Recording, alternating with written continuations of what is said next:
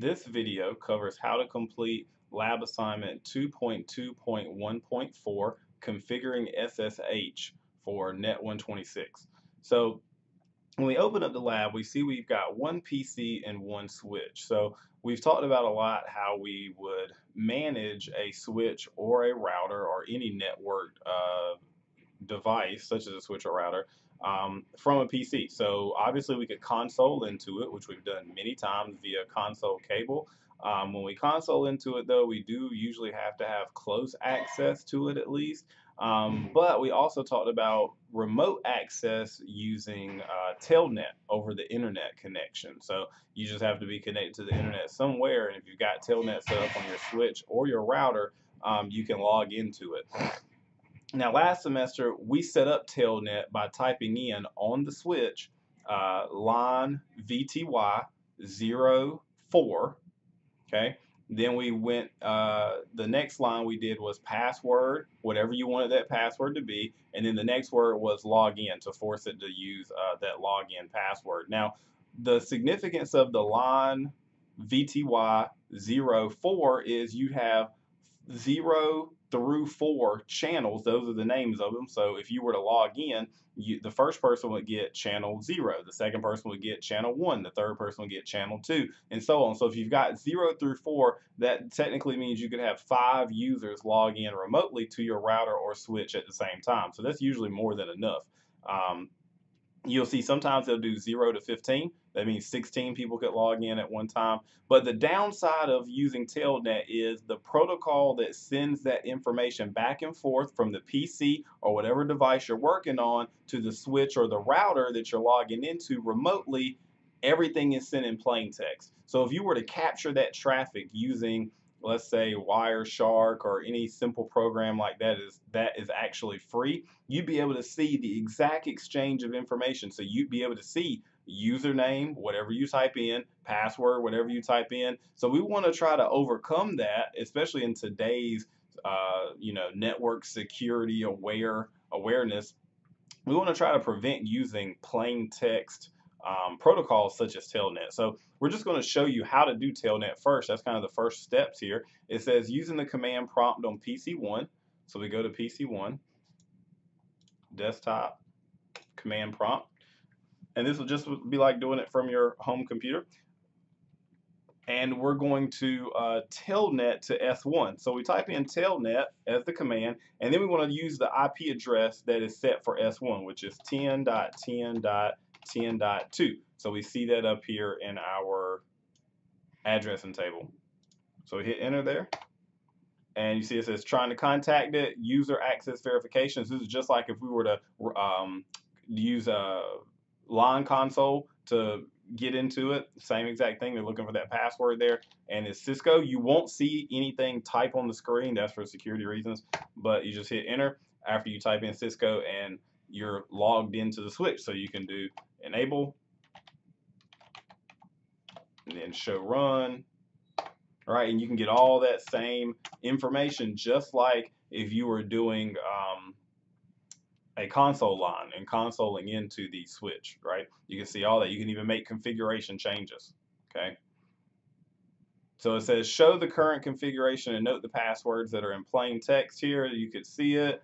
Um, if you were using something like Wireshark, you wouldn't even need access to this. You could just see the traffic that I sent back and forth and note that everything is in plain text. So it says enter the command that encrypts plain text passwords here. So if we do config T on our router, I'm sorry, the switch, um, now we're going to enter the command that encrypts it, which is service password dash encryption. Hit enter. Now if we go back and do a show run,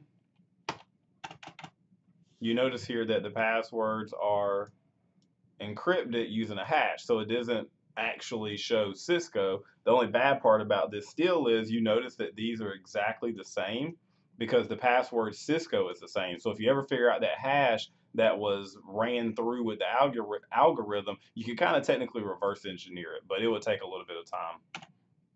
So that's just showing you that one way. Again, that doesn't matter though. The Telnet protocol, it would still send the passwords over the internet in plain text. So that's not a good practice.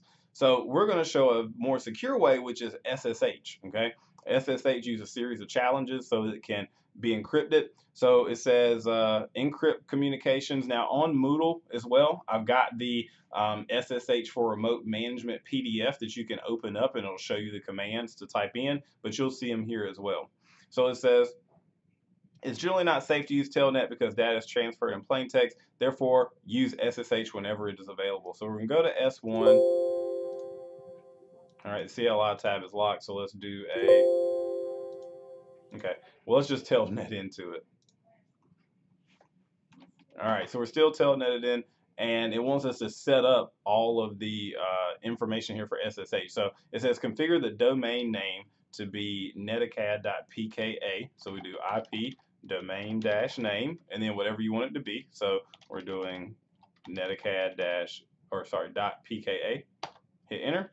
And it says secure keys are needed to encrypt the data. Generate the RSC key RSA keys using a 1024 key length. Okay, so we're going to do crypto key generate RSA. Hit enter. It asks you how many bits in the module. It suggests 512. We're going to change that to 1024, okay, by just typing it in and hitting enter. And you see it'll say generating 1024-bit RSA keys. Keys will be non-exportable. And it gives you the okay that it's done it. Now we're going to create an SSH user and reconfigure the VTY lines for SSH access only, all right, instead of Telnet. So uh, we got to create an administrator user with the Cisco as a secret password. So we do username, administrator, secret, Cisco. Okay, and it tells you that that SSH version 1.99 has been enabled. All right, now we got to go configure it. So line, and if you noticed here, they've got 0, 4, and 515. Okay, so we'll just do line v, VTY 0, 15. That'll take care of 0 through 4 and 5 through 15. Okay, and we want to do transport input SSH. That will force it to use SSH. We'll do login local because we set up that local username of administrator and Cisco as the secret password there. Exit. Okay. So we've got that set up. Uh, it also says remove the existing VTY line password. This should override that. Um, let's just double check. The show run. Yep. So we no longer have, well, uh, it still says the password. So let's go in line VTY 015, uh, no password Cisco. So that no password Cisco should take it out of there. Now when we do a show run, shows you no password there. So we did the line VTY 015, no password Cisco to take that out of there. Okay. Now it says exit the Telnet session and attempt to log back in using Telnet. The attempt should fail. Now, of course, we're already logged in here, so we have to log out of this session altogether. So if we do, uh, oh, and one other thing you could set too is the version. You could do IP SSH version 2 to make it use uh, SSH version 2. It's the most updated, up-to-date version. So let's say we type exit exit. All right, that ended our connection completely. Now, when we try to do telnet 10.10.10.2, hit enter, right, nothing happens, right? It says open, close. So no matter how many times I do that, it fails. It'll fail, okay? So it says attempt to log in using SSH. Type SSH and press enter without any parameters to reveal the command usage instructions. Basically, that just they just want you to see what uh, how to use it, right? So if you do SSH dash L and then you specify the username, which is administrator, okay, and then um, and it tells you that's a L, not a number one. So it's SSH dash L not one, but AL, administrator, and then the target is 10.10.10.2.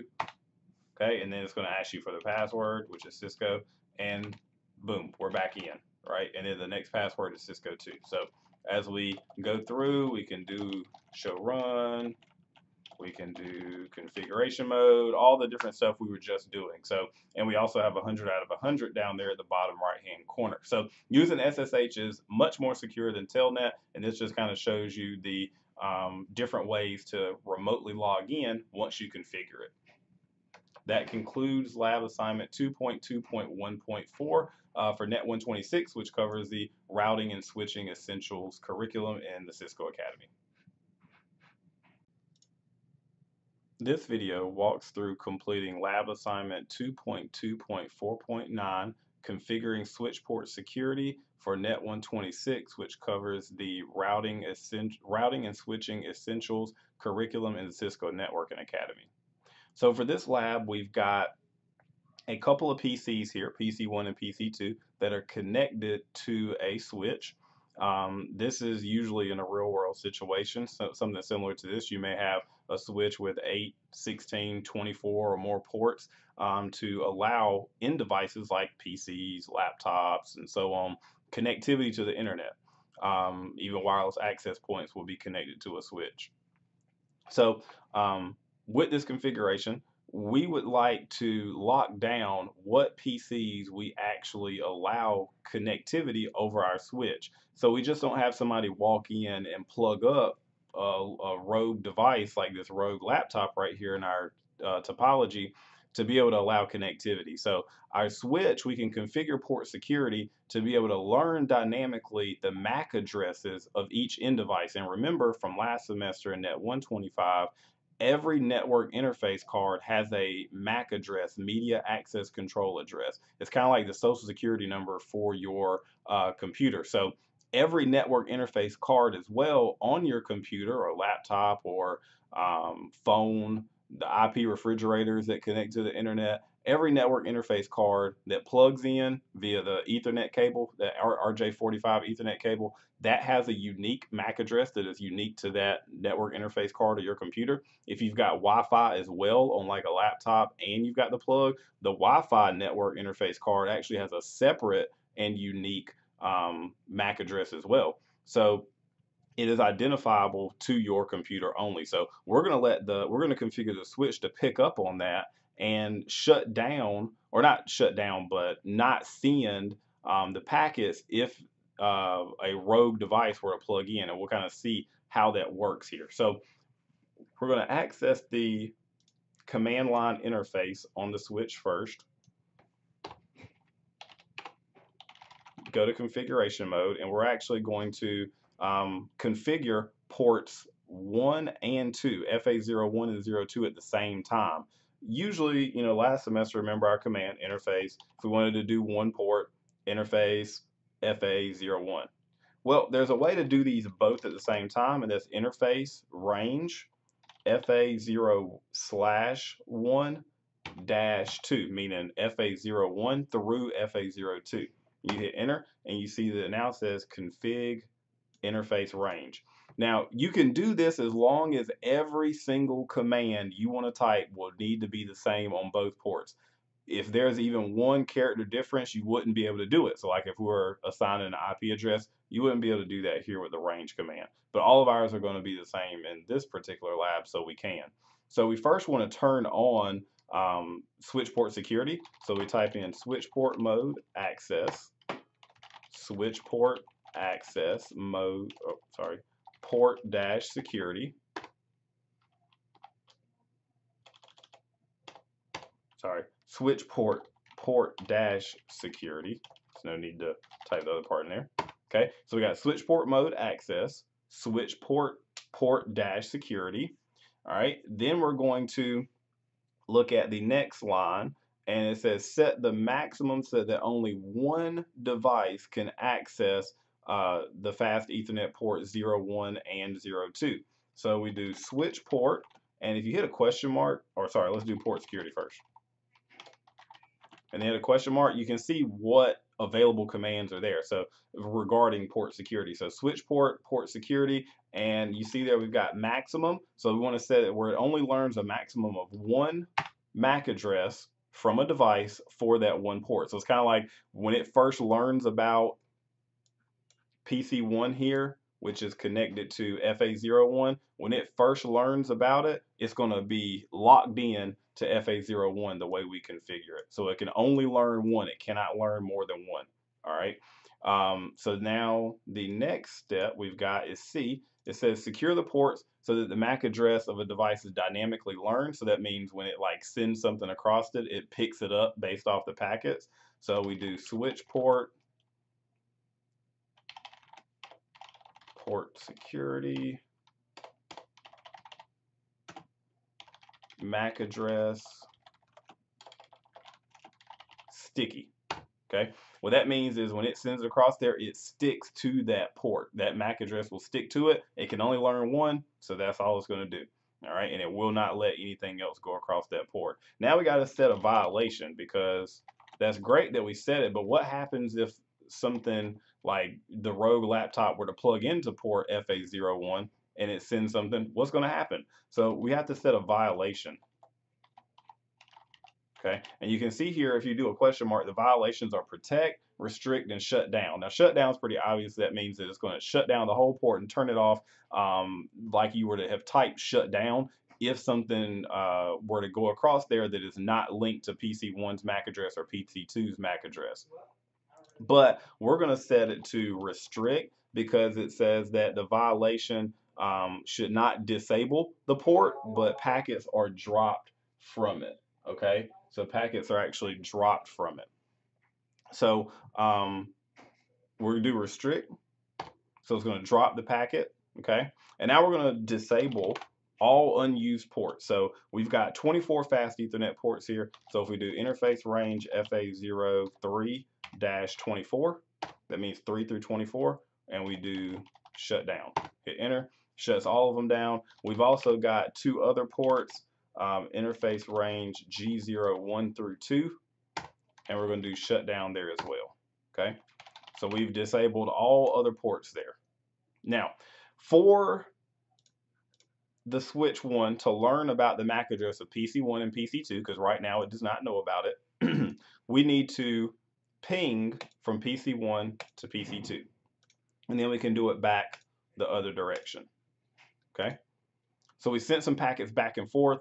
And remember, in our uh, OSI model, like in last semester, the MAC address is part of that, the source and destination MAC. so it learned about it. And we can check here if we do a show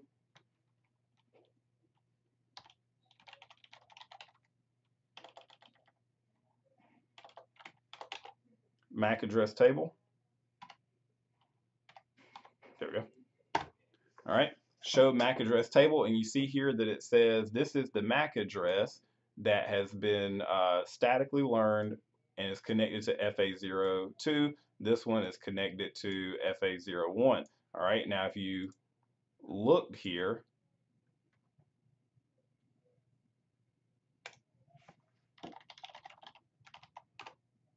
okay, the MAC address here should, the physical address should match for the one connected to FA01. So this is PC1. So you see this right here, the physical address matches, right? So it learned about it. Same thing for PC2 here. ipconfig forward slash all. This one's connected to FA02 and you see that it should match what is right there, okay? Now, that means again, remember, it's not going to learn about any other MAC address. So it tells us to Attach the Rogue laptop to any unused switch port and notice that the link lights are red. Okay, so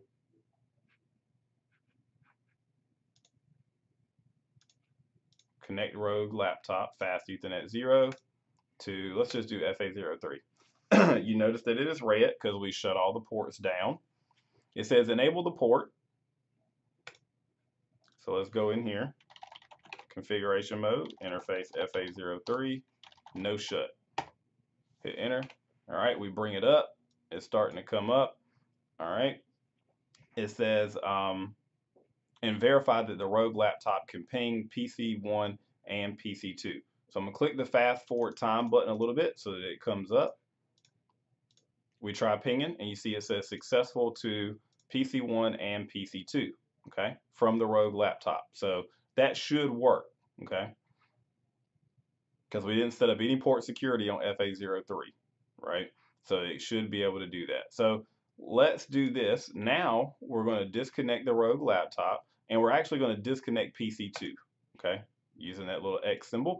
And let's connect the rogue laptop to the FA02 port, which PC2 was plugged into, okay? Fast forward time a little bit, everything is green, it looks good, okay?